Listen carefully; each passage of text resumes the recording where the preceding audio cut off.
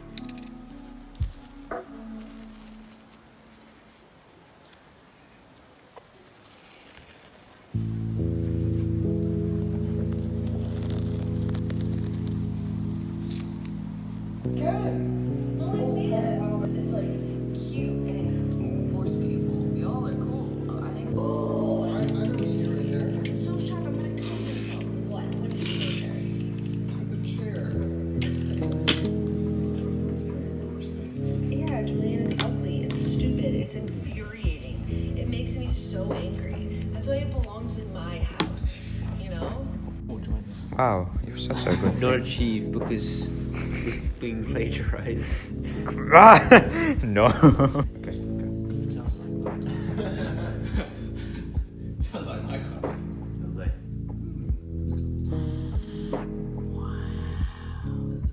Oh, okay. Wow. show me up like that. So that, that's my skin. This is called grade A vandalism. Okay. Oh, Stevens. Oh my god, I like my quote. My is not my big vegetable.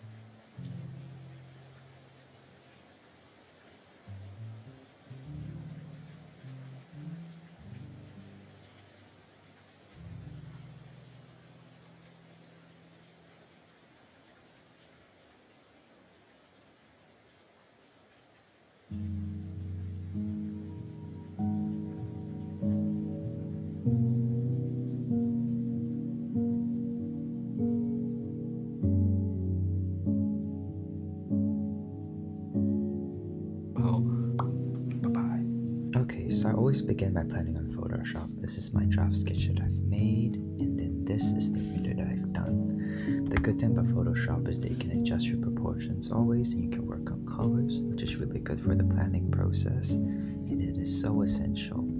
This helps you spend more time painting and less time thinking during the actual process, which I think is always a bonus. Okay, so second day. I've made some revisions in my draft, and I can start drawing. It's always important to plan before you paint. It will save you so much time. Take it from me.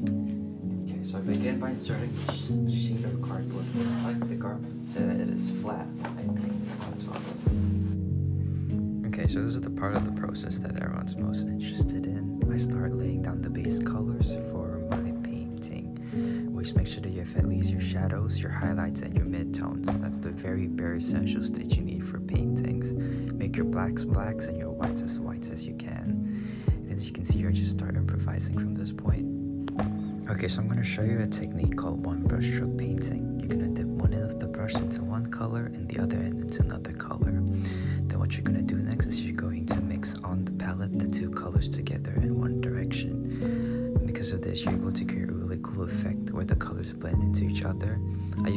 bamboo shoots and uh, flowers and leaves, and it's something I think you should practice as well. It's really cool for paintings and it's a really easy blending technique to use. Okay, so you guys might be wondering what I used to paint. So I use acrylic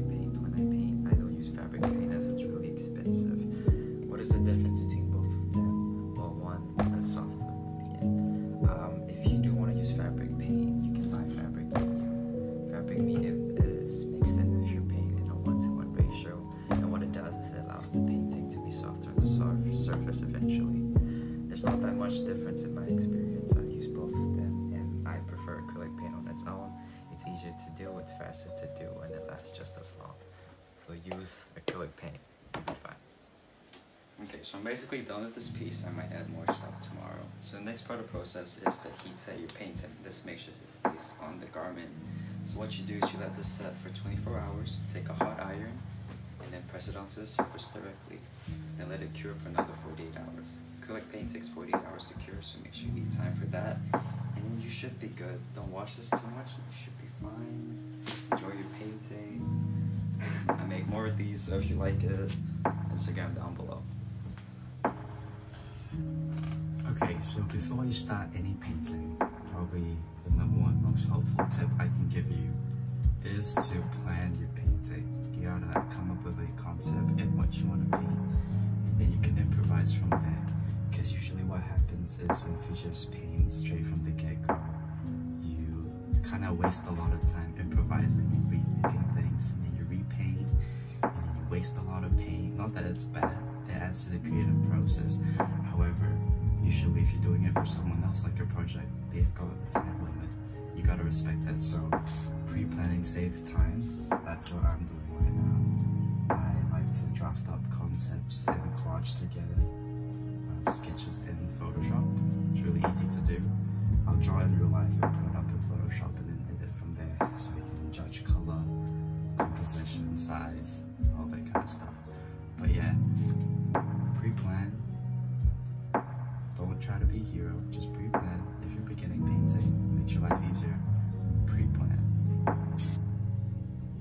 Okay, so for this project, um, Nini, my client, I'll call her my client, she wanted a kind of golden sunset vibe painting with flowers and butterflies and her and her boyfriend.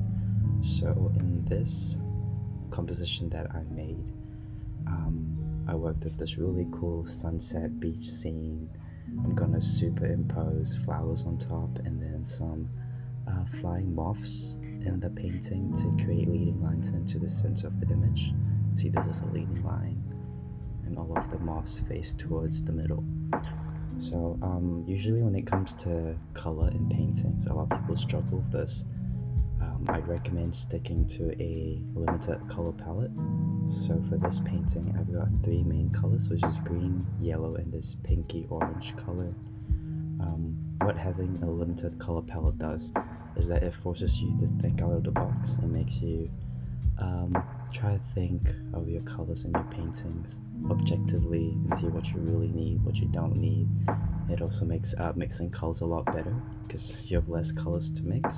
And yeah, so I'd say if you're coming up with a new painting, just try to choose like three colors and then just improvise from that point on and you'll be fine. Yeah, so this is the painting that we'll be doing for Nini today. I'll probably be improvising on top of this anyway, but this is a good rough vision of what we're trying to aim for for today on the jacket. Oh, so I really love this weather today. It's so nice. Look at that. It's like summery but cold. Thank you, New Zealand. okay, but yeah, I'm gonna start painting now.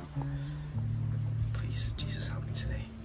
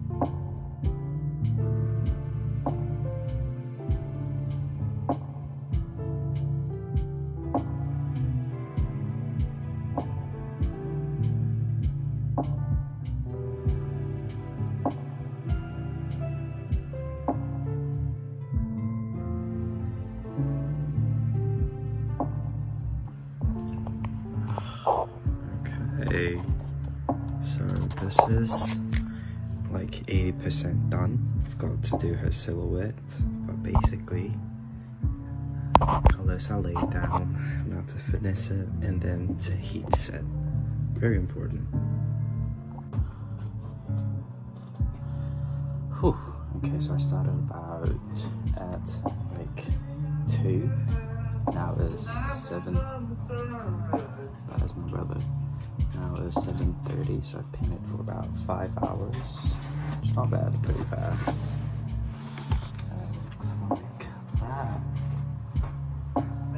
Yo, that is so sick. Added the little border. So there's a frame, and then the um the flower and the fab. As you can see, we added gold spray paint. It's really reflective which I think is cool because I like playing with surface quality and that shiny thing is just, I have a lot of shiny stuff.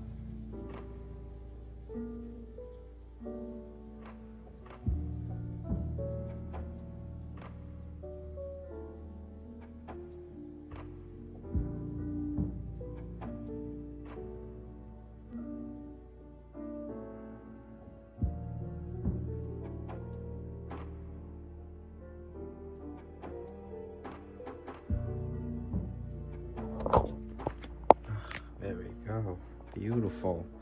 Silhouette.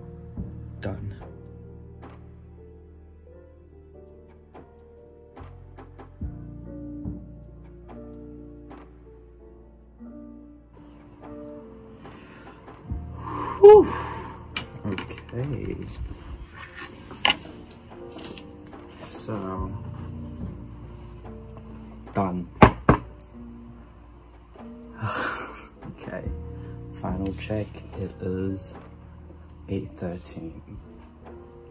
8 hours. Not bad. Really happy with this one. I hope she likes it. I'm gonna send her a photo and let's see what she says.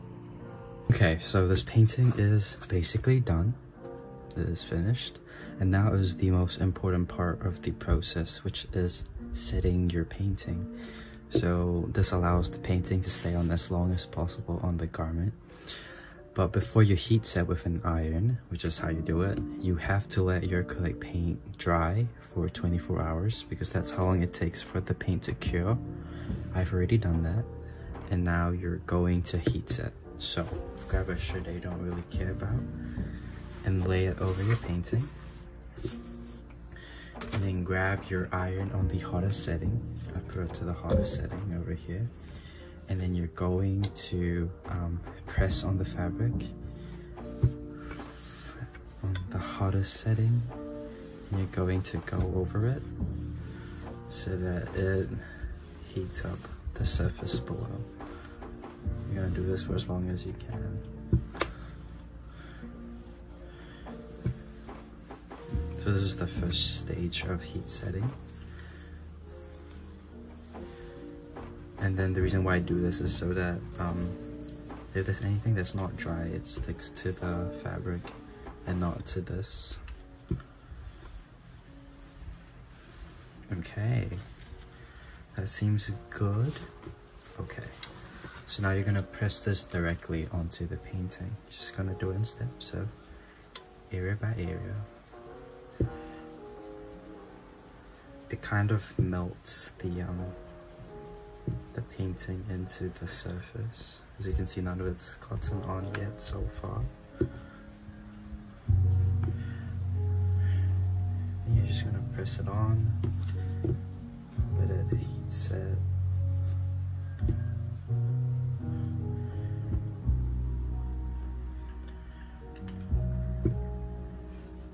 It might not do so I use spray paint. It's kind of sticking to the iron, but it's alright. It's not the end of the world. And just heat set your painting. So you do this for a few rounds until you feel like it's um, kind of softened. And then after heat setting of the iron, you're going to leave it to set again for another 48 hours before you can wash it. Um, ideally, I wouldn't wash it like until after a week, but you can wash it. Just make sure you let it set for another 48 hours after heat setting it. And then you should be fine. And yeah, there you go. That is your painted jacket done. I really hope Nini likes it. this is her and her boyfriend silhouetted against this really cool um, nature scene yeah okay.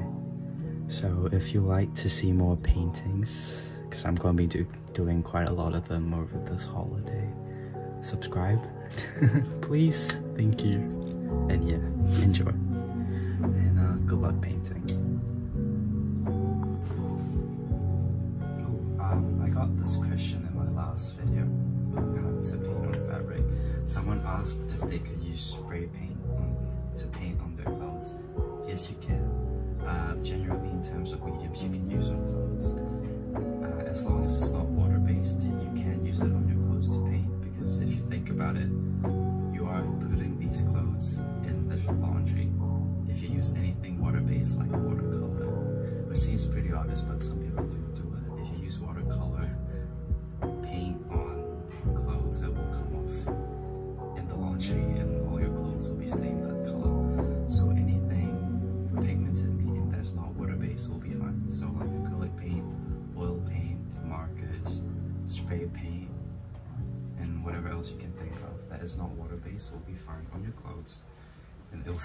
the clouds. So yeah. But if you've got any more questions, just ask me down below in the comment section and I'll answer it. Okay. Good luck.